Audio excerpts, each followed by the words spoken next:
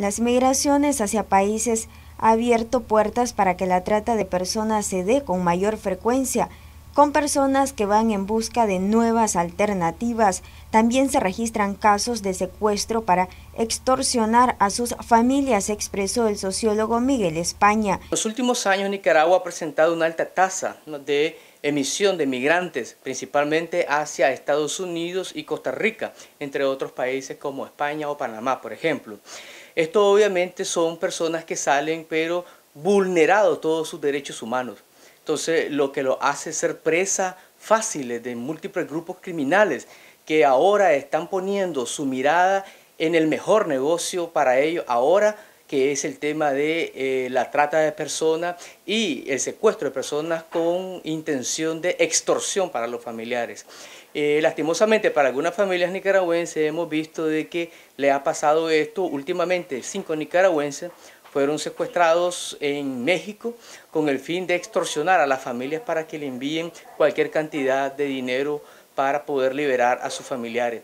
Esto vulnera los derechos humanos y requiere entonces un abordaje integral de los derechos humanos como personas en movilidad humana, o sea, como migrantes, vengan de donde vengan, los países, ya sea emisores, receptores o de tránsito, están en obligación de atender integralmente eh, eh, los derechos de estas personas para que no sean víctimas de, este, de estos grupos criminales de trata de personas. Es difícil detectar cuándo están engañando a las personas, pero hay algunos elementos que pueden tomarse en consideración, dijo el sociólogo. Es muy difícil, pero hay algunos elementos que pueden tomarse en consideración.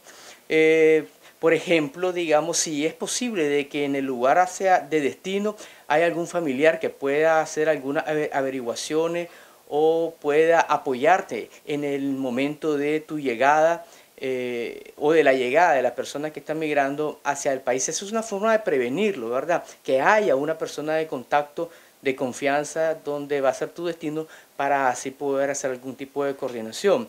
Otra de las formas puede ser cuando, digamos, se le está endulzando demasiado el oído a la persona.